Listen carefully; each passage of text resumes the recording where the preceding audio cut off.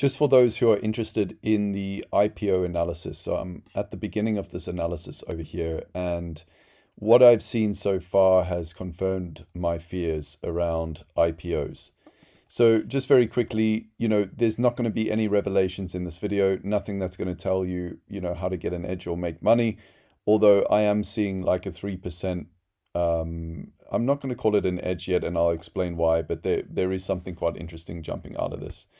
So, you know, after cleaning the data, I was able to scrape uh, 1499 or 1500 IPOs and get their price information and see, you know, what was their uh, price, what were their price stats based on day one, day two, day seven, day 22, etc.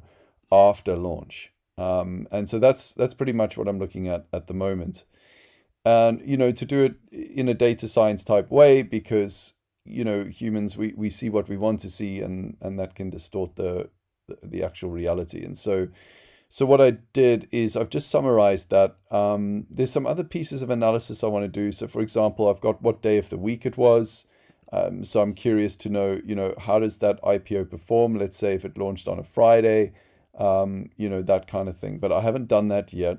What I wanted to share with you was just in total, you know what's going on here. So I've got some uh, scripts running here to um, basically provide some charts. I'll undo those for a second so they'll they'll run.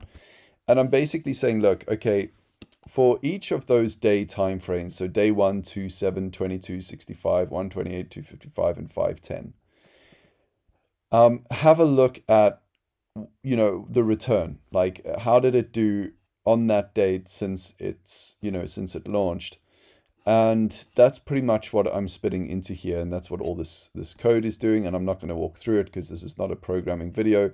But honestly, it's 57 lines of code um, to have it run through and analyze that. So I'm going to hit play and you'll see up here a bunch of charts now appear. Now the one I'm interested in is this one and it's this graph on the right. It shows the percentage of total for that day um, that's being analyzed, whether it ended up being positive or not. So, you know, two days positive versus negative. Anything where there was zero movement, I just excluded.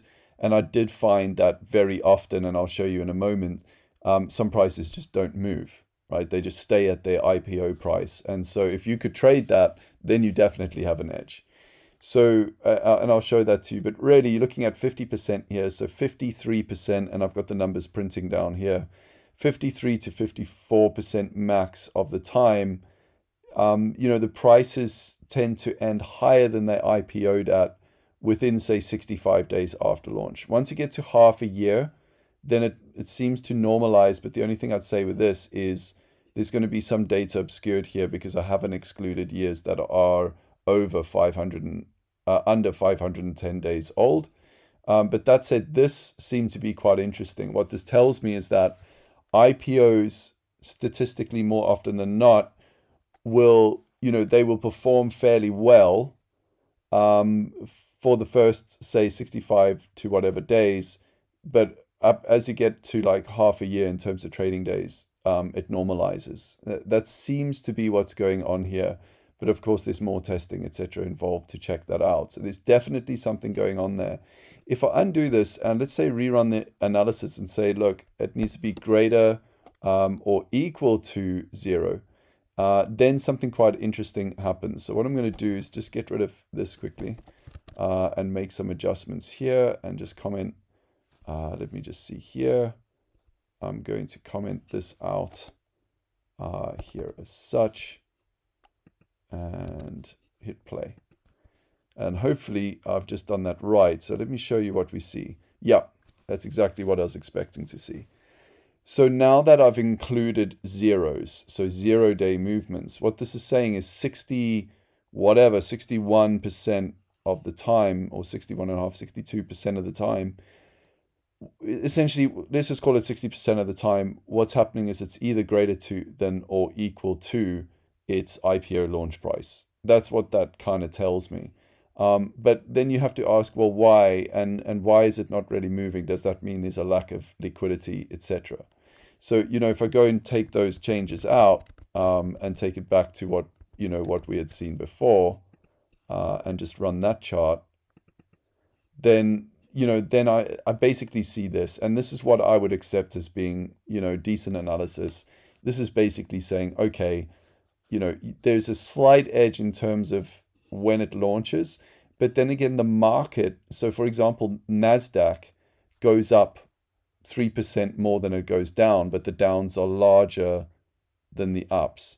So this is just telling me, you know, in terms of the number of days that it increases. Now, it's not telling me the sum of those days, right? It's not telling me how how overall big are my increases or, you know, big are my decreases. That's some analysis I still need to do, but I thought you'd find just this interesting so far that, you know, there does seem to be a slight pattern, but not enough to make major trading decisions off of.